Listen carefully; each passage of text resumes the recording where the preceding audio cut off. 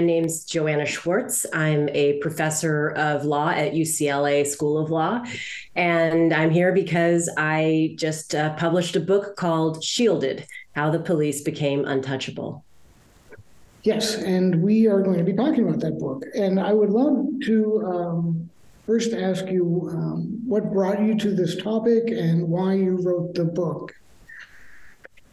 So, I've been interested in civil rights litigation and police accountability for more than 20 years. It's a topic that I first became interested in um, as a law student, um, and then uh, decided I wanted to be a civil rights attorney and uh, began practicing more than 20 years ago.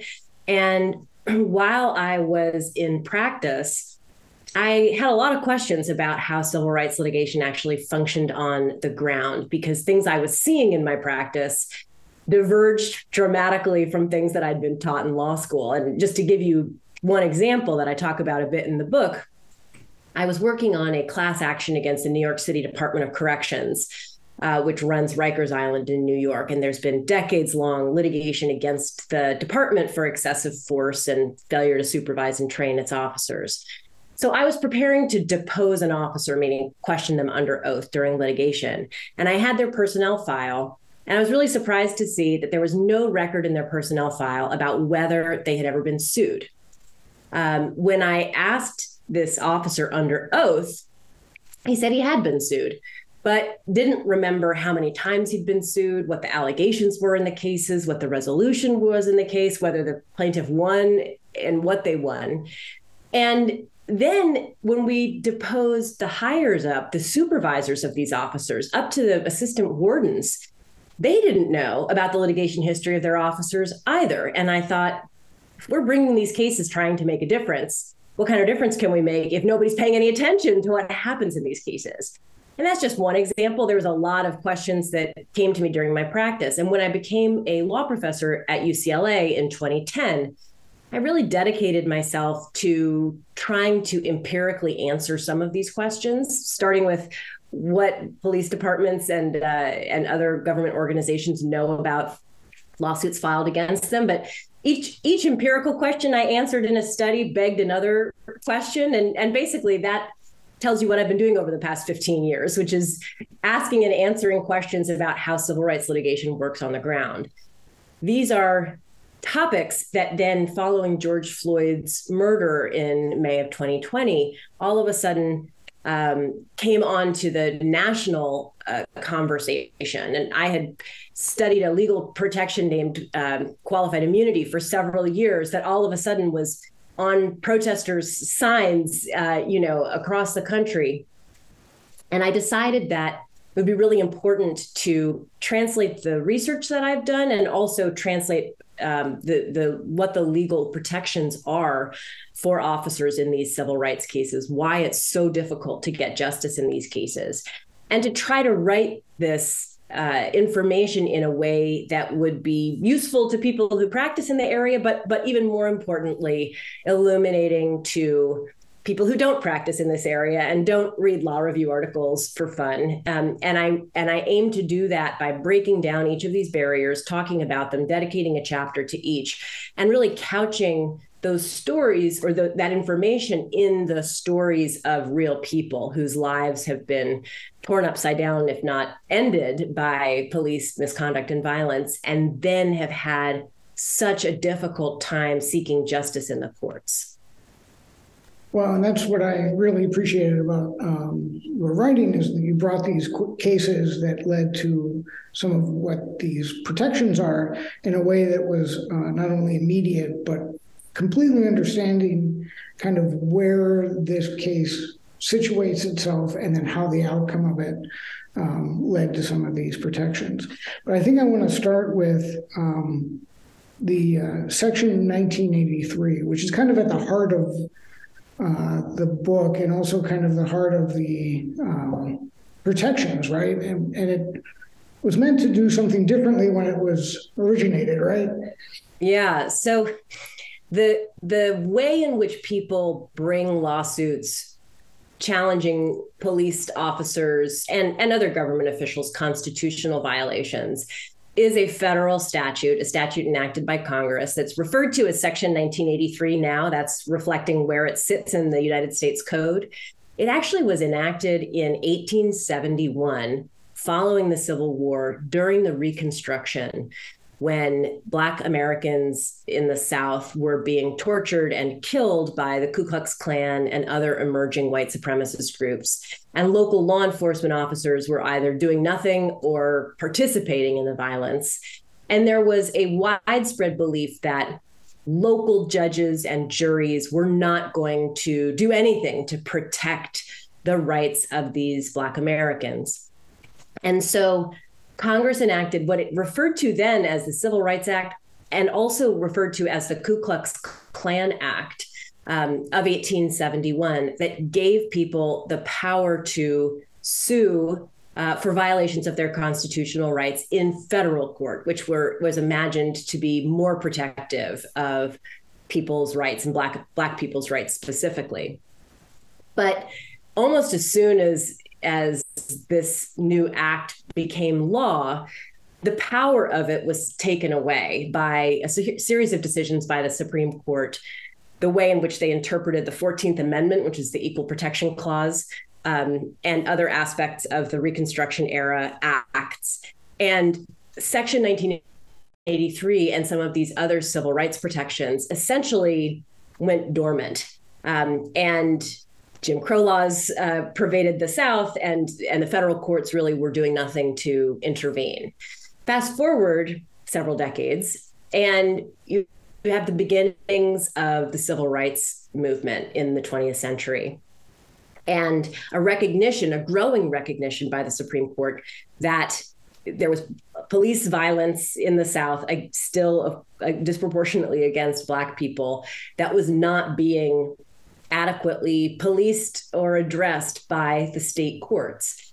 And so I trace a sort of series of opinions in that vein, resulting in a decision called Monroe versus Pape, decided by the United States Supreme Court in 1961, that held for the first time, 90 years after the Ku Klux Klan Act was passed, that people could sue police officers for violating their constitutional rights. And so that decision, Monroe versus Pape in 1961, really opened the doors to uh, people to allow them to bring these lawsuits under Section 1983. Um, and and that has been an incredibly important way to hold law enforcement and other government entities accountable. But as I show, there was a high point in 1871 when the statute was enacted, maybe another high point in 1961 when the Supreme Court recognized it could be used to sue law enforcement and other government officials. And then again, as, as in after 1871, when the power to sue was stripped away, since 1961, the Supreme Court has acted in a variety of different ways that I outline in the book to strip away the power of Section 1983 and make it more and more difficult to bring these cases.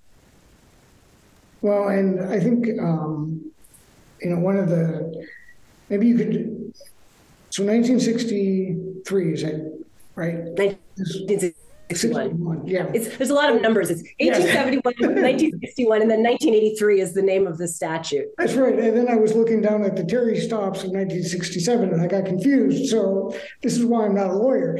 Um, but maybe we can talk about like what was the immediate um, pushback then against Monroe, uh, Monroe, versus Pape? I know there was a dissent written, but then some of the cases that came after and and we can start getting into like qualified immunity and some of the other things that come up. Yeah. Yeah. The, the arguments, the, the concerns after Monroe versus Pape was that the courthouse doors were going to be open too wide. And in Supreme Court decisions and popular commentary and commentary by academics and by government attorneys, there was a familiar story told and retold that if it was too easy to sue, courthouses would be filled to the brim with frivolous cases, that officers would be bankrupted uh, for split second mistakes, good faith mistakes made on the job. And with that threat of liability, no one would agree to accept government employment, or officers who were on the streets wouldn't vigorously enforce the law. And without a robust public safety mechanism, we would devolve into chaos. And, and you really can see um, in the Supreme Court's decisions and in other popular commentary that entire story the fear of too many lawsuits then ending in concerns about a, a, lawless society and you see this in the in in the many protections that um, we have seen uh, been developed in the in the years after Monroe versus Pape. Those same concerns have then come up now post 2020 as there's conversation about police reform. It's it's the exact same arguments and part of what I try to show in the book and this is what my research has really focused on over the past 15 years. Those claims are overblown if not false, but they're powerful and frightening to those who believe them. Right, and I think that leads us into there's kind of a two pronged attack uh, on these uh, rights. One is monetary, and one is like culpability. So one's a criminal liability. So if if I was a police officer and I shot you, could I go to jail? But then additionally, how much would I have to pay the family for something that I did wrong? And and I think that that um, that thread is really pulled pretty tight by you and shows a pretty good argument against both of those points. But um, so maybe you could explain us explain to us how qualified immunity addresses both of those points differently. Sure, and I should say, excuse me, my book really focuses on the second of those two, on the ability to bring a civil suit, meaning a suit seeking money damages or some kind of forward looking relief, referred to as injunctive relief, in order that the department change a policy, for example. I, I focus much less on the criminal side.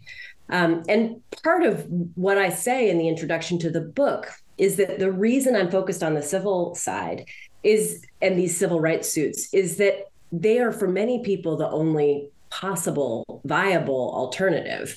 Um, police officers are criminally charged in fewer than 2% of fatal shootings. They're convicted in about a third of those. And if you're talking about non fatal force or other kinds of police misconduct that don't involve the use of force, criminal prosecutions are vanishingly rare. And so, for many people, the way to get some form of justice is through a civil suit. And qualified immunity is a protection that comes into play in those civil cases. It's not available. There's other protections for officers in criminal cases. Qualified immunity applies in these civil cases. And it's a defense that that was created by the Supreme Court in 1967, so 6 years after Monroe versus Pape was decided. And at the time when it was first enacted or first created by the Supreme Court, it was described as a good faith defense. So if an officer thought that they were following the law when they made an arrest, but in fact, the law that they arrested the people under was later found unconstitutional. The officer acted in good faith and shouldn't be held liable. But the standard for qualified immunity has gotten stronger and stronger over the years, again, fueled by these concerns about the dangers of too much justice. The first main step was in 1982 in a case called Harlow versus Fitzgerald, when the Supreme Court said forget about officers' good faith or bad faith. In order to get to the bottom of that, we're going to need to depose officers, question them under oath, perhaps go to trial. And we want to save officers from the burdens and distractions of being sued in insubstantial cases. And so the court said, let's just focus on whether the law is clearly established. And they didn't really say what clearly established meant. But as the court has uh, gone on in the decades, They've described clearly established law in a way that is almost impossible to meet. There has to be a prior court case holding unconstitutional virtually identical conduct. So it's not enough to say it's unconstitutional to use force against a person who has surrendered. That is a general principle in the mind of the Supreme Court. That's not particularized enough to the facts of the case to put an officer on notice. so you have to find a prior court case where an officer used a similar type of force under similar circumstances. And I talk in the book about a case called Baxter versus Bracey, where a man was um, suspected of a, of a burglary. He was sitting down put his hands in the air in surrender, and the officers, it was this was in Memphis, um, released or Nashville, uh, released their police dog on Alexander Baxter anyway. Um, there was a prior court case that had said it was unconstitutional to release a police dog on a person who had surrendered by lying down. But in the view of the court that heard Alexander Baxter's case, the factual distinction between a person surrendering by sitting down with their hands in the air and a person surrendering by lying on the ground was uh, different enough that the officer was entitled to qualified immunity. And that qualified immunity gets them off the hook, right? That keeps them from having any ramifications or consequence from the action, correct? Well, it certainly prevents their the the Section 1983 case from succeeding. Um, in many states, there can be state law claims, claims of assault or battery, um, and those can be pursued. Sometimes they have their own immunities. Um, they tend not to um, allow for the recovery of attorney's fees by the lawyers bringing these cases um, which ends up meaning the, without the Section 1983 claim, the case becomes far less um, financially viable for a lawyer to pursue. And um, so there's those points. It's also worth saying there can be employment consequences, um, but there don't tend to be um, in these cases. In addition to criminal prosecutions being rare, internal discipline uh, is also extremely rare. So it, it is often that it's the Section 1983 claim that would be the announcement of wrongdoing by the officer, and qualified immunity can prevent that wrongdoing from happening in precisely the cases where officers have been found to have violated the Constitution. Yeah, and that's so even so on appeal, even if we break uh, qualified immunity and someone's held um, to consequences, then in, on appeal, it's usually granted anyway, right? And I, that kind of gets back to um, you have two chapters on uh, judges and juries. And I think that that is a huge piece of this whole process that is very rarely uh, spoken about. So I really appreciated those two chapters. And if you could kind of walk us through what you found in those and how each of those two pieces work in civil cases. Absolutely. And you broke up for a second, but I think I know I think I know what you said. Hopefully your listeners, our listeners will too. So, yes, there are two chapters dedicated, one to judges and one to juries. And it was important to me to include those chapters because the laws that we have, laws like qualified immunity, don't apply themselves. They're not self executing, right? It's judges who are applying these um, these rules. And beyond things like qualified immunity, there's all sorts of other kinds of decisions that judges make in the course of um, litigating or supervising the litigation of a case, like whether you can get discovery, how much discovery you can get from the other side, um, who you can depose and who you can't depose, whether you can have experts or not, who the jury's jurors are who are seated to hear the case there's so many decisions that judges get to make between the beginning and the end of the case. And as I argue in Shielded, the way in which those judges see the world, their prior experiences, their work experiences, um, perhaps even their gender, race, uh, upbringing, etc., influence the way in which they see the world and can influence the way in which they rule on these decisions. Even something like qualified immunity, which is a settled legal rule has all sorts of gaps in the Supreme Court's decisions on these cases, places where judges can exercise some discretion.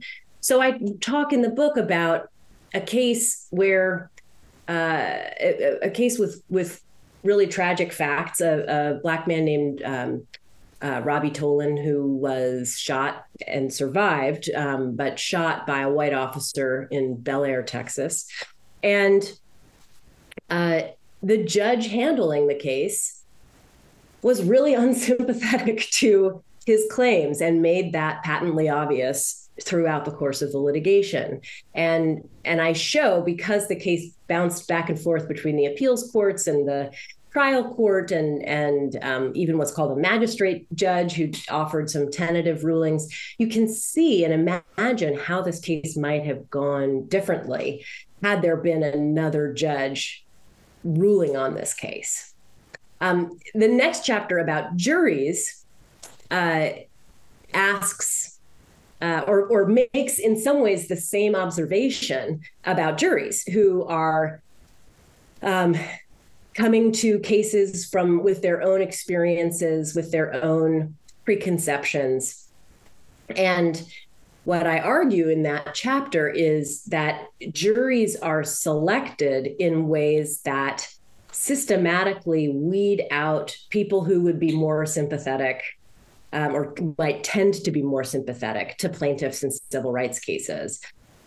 Um, in federal court, um, any uh, person who has been a juror, um, which necessarily weeds out people who have firsthand experience of the criminal justice system, uh, the federal jury pools then are limited to registered voters um, which there are racial disparities and economic disparities in uh, who registers to vote. Beyond that, um, the way the process works is that a person is mailed a juror questionnaire. If they don't have stable housing, they may not receive it. Uh, if they don't have stable housing or a stable economic situation or a stable work situation, they might might not take the time to fill out that questionnaire, send it back in, and show up when they are um, called to jury. And all of these things add up. I talk about a case that that was brought in in Florida, and some research done in that federal district in Florida, finding that somewhere along the lines of 40% of Black members of this community were disqualified from one of in one of one or more of these ways from serving on juries. And that disproportionate effect on uh, black jurors and it was also true of latino jurors has been um, challenges to that have been um, rejected by the courts. But it has a real impact and and lawyers who litigate these cases will absolutely tell you um, it, it has a real impact uh, when you are weeding out from the pool jurors who might see things in from more readily from the perspective of a plaintiff in a civil rights case. And can you talk a little bit more about the perception of civil rights attorneys in the um, kind of the perception of them in the court system? Because I think that there's some of like the Supreme Court is worried that they're going to get paid too much, um, that they're it goes back to what you were talking about earlier about throwing the doors open. And so I think there's, you know, we have a perception of defense attorneys being one way, slightly criminal maybe on themselves. So what about what do you think the perception of civil rights attorneys is and how can that be uh, addressed? So I think that you know if if listeners think for a moment to just pause for a moment about what they imagine when they think of a civil rights attorney. Um, I imagine that they may imagine uh, the sort of an ambulance chaser, you know, a person who is looking to get a buck off someone else's misery. And also that there are many, many, many of them and plenty of them, too many, too many of them. And, you know, we can debate whether there are too many or too few lawyers in the country, but I think that it is very true and stand by the notion that there are too few civil rights attorneys and too few attorneys practicing poverty law more generally, providing legal services to people who can't afford those legal services. Um, And the way in which civil rights lawyers are paid is part of the problem. So, um, most lawyers, if they're bringing a personal injury case or a medical malpractice case, their clients pay them on what's called contingency. So the lawyer would get nothing if their client lost in court. And if they won, they'd get a portion, usually a third or so of any recovery. Um, Congress in uh, the 70s concluded that this was not a good system for civil rights cases filed under Section 1983 because there's a value in bringing these cases. There's a value in vindicating constitutional rights, even when the harms may not be um, so financially significant. And so Congress created a statute called Section 1988 to add another another number to our discussion that said prevailing plaintiffs, plaintiffs who win, should get their attorney's fees. But in a common theme throughout the book, the Supreme Court has interpreted that entitlement in a way that has really um, made the initial goals of Congress in passing this statute very difficult to obtain. So, what the Supreme Court has said is that uh, if a case is settled, and the vast majority of these cases that are successful settle, that the defense can waive the plaintiff's entitlement to attorney's fees meaning just give them a lump sum, say, take it or leave it. And what that's ended up meaning is that the contingency fee system is basically back in place. And lawyers think about these cases from that contingency fee perspective. And when they're thinking about them, often these lawyers in many parts of the country, lawyers who bring civil rights cases are not solely bringing civil rights cases. It's part of their practice. They're also personal injury attorneys or um, medical malpractice attorneys or criminal defense attorneys. And a case, a person who's suffered an egregious wrong comes through their door, the lawyer thinks, this is a terrible case. Uh, I can win it. And boy, Section 1988 says I get my attorney's fees. And then they spend thousands of dollars worth of their time or tens of thousands of dollars worth of their time, and the case is dismissed on qualified immunity grounds. Or they get to a settlement and then realize they're only getting paid a tenth of the of the time that they spent.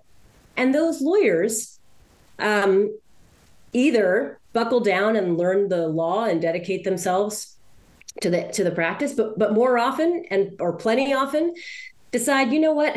I'm going to go back to my personal injury work or my um, medical malpractice work. And i mean I've been talking to lawyers who have practiced civil rights work for decades who then have started taking medical malpractice or dental malpractice, they say, because it helps pay the bills. So the idea that there's a lot of lawyers getting rich quick uh, off of these civil rights cases simply isn't a reality. And what it ends up meaning is that in parts of the country, particularly outside the large cities, um, in the South especially, lawyers who are experienced in these cases are very hard to come by. Well, that brings up a, uh, second question I have about payment, and that is when there is a judgment against a police officer, um, who pays that money and where does that money come from? And in these judgments, where you know sometimes they're millions of dollars or hundreds of thousands of dollars, where's that money coming from? And is the state paying it or individual officers? And what's the story behind that? So, if you listened to defenders of qualified immunity, they would tell you that officers are threatened with bankruptcy every time they are sued. That is just false. And it's not qualified immunity that protects officers from being bankrupted. Instead, state and local governments across the country have what are called indemnification statutes or indemnification policies. And what those policies provide is that when an officer is sued, um, if they've if it's if they're sued for something in the course and scope of their employment. So not a car crash when they're off duty but something as as relates to their job that they will be provided with a lawyer and that a settlement or judgment against them will be paid by the local government or by the insurer for that local government. And when i looked at payments in 81 jurisdictions across a um, six year period, I found that 99.98% of the dollars came from local governments and from insurers. 0.02% of the dollars were paid by officers uh, in two of the 81 jurisdictions. And even in those jurisdictions, officer contributions were rare and averaged about $4,000, which is not the making of a bankruptcy petition. Um, that was a study, speaking you know, before about the fact that each study would beget another study. Having done that study, then I started thinking, well, where is the money coming from? If it's coming from the local governments and the insurers, but but where in the budgets for these local governments is the money coming? And what I found was there's there's a lot of variation. Um, in some places, it's just paid directly from the central budget. In other places, uh, money is taken as part of the police department's budget to satisfy those settlements and judgments. but what I found was, regardless of the formal arrangement, uh, where the money technically came from, that very rarely did those payments have a financial impact on the department. You know, paying uh, settlements and judgments that were larger than expected didn't require officers or departments to cut back on overtime or equipment. And and on the other side, reducing litigation costs didn't give them extra money that they could then spend on overtime or equipment. Um, and some of the most distressing, I think one of the most distressing things that I that I learned in this research is that when there is more money necess- than expected to pay these uh, settlements and judgments, the money tends to come from parts of the city's budget that were earmarked uh, for the least politically powerful. So in Chicago, which gives the police department money to to pay settlements and judgments and every year the police department spends more than it has been budgeted the excess comes from other parts of the budget and a lawyer for the city of chicago a former lawyer for the city of chicago told me when there were high payouts in these police misconduct cases it meant that we did away with lead testing in our public housing. And those are the very people who are the least politically powerful and probably the people who are disproportionately likely to be subjects of police violence and misconduct, who were then having to essentially foot the bill uh, for that misconduct at the expense of their own health. Yeah, it's all very uh, distressing. And um, just to kind of wrap things up now, what would you, last chapter of your book, you offer some very strong uh, ideas and prescriptions on possible solutions to some of these problems. So maybe you could just touch on a couple of those, um, especially the injunctive uh, relief, because we didn't really get into that that much, but I think it would be good. Absolutely. And, and I will say, um, this this book can feel like a, a little depressing, um, a little bit of a of a downer, and it is a book about police misconduct. So if you can find a chipper and cheer, cheerful book about that topic, you know, I'd be curious to to know what it is. But I I do try in the last chapter, after describing all of these many barriers to relief, to try to um, offer some some ways to move forward and there's a lot that the Supreme Court or Congress could do. They could either could roll back qualified immunity, um, make it more financially uh, viable for lawyers to take these cases. You mentioned injunctive relief, which uh, there's a whole chapter about this, which there's a Supreme Court decision that makes it very difficult for people to be able to seek forward looking relief, changes in policies, and pushes them instead to get money damages. When many people what they really would like is some sort of um, vindication that would prevent something similar from happening in the future. Those restrictions could also be rolled back by the supreme court or congress. Um, i don't have a whole lot of faith in either institution right now when it comes to police reform but there's a lot of interesting things that are happening in the states and and even more in local governments. So there have been states like Colorado that, after uh, the murder of George Floyd, passed a comprehensive police reform bill, and essentially created a state law right to sue for constitutional violations where qualified immunity is not a defense. It's it's pretty remarkable that this statute was created to find an alternative forum to avoid the states which were so hostile to civil rights. And now the federal system is so hostile to civil rights that we're now looking to the states. But states are considering these kinds of bills. Um, a number of them have been unsuccessful because lobbying efforts by unions and other law enforcement officials have have made this same claim about officers being bankrupted for these these reasonable mistakes that that I argue again and again in legislative hearings are are not uh, not have no relationship to reality. Uh, but those efforts continue. And there's a lot of interesting work that's happening at the local level. Philadelphia has ended uh, or limited traffic stops by officers. Memphis is considering a similar bill or similar policy change. And there's efforts across the country to uh, to have unarmed mental health professionals respond when people are having mental health crises. I also think that there's a lot of valuable work that could be done, and it's not being done enough by local governments to uh, condition their budgets to law enforcement agencies on the agencies collecting and analyzing information about the lawsuits brought against them. There could be uh, more um, done to take the money out of the police department's budget to give them more incentive to, to pay attention in these cases. And importantly, that's work at the local level that listeners can engage in themselves. Um, it's sometimes hard to get your um, your federal senator uh, to to listen to you, or even your state senator, but you know every community has you know a city council or other or other government entity um, that that can listen and can respond to these kinds of pressures. And we're seeing that happen all around the country. And so part of my goal in the book is with that last chapter is to give readers a sense of things that they can do in their immediate communities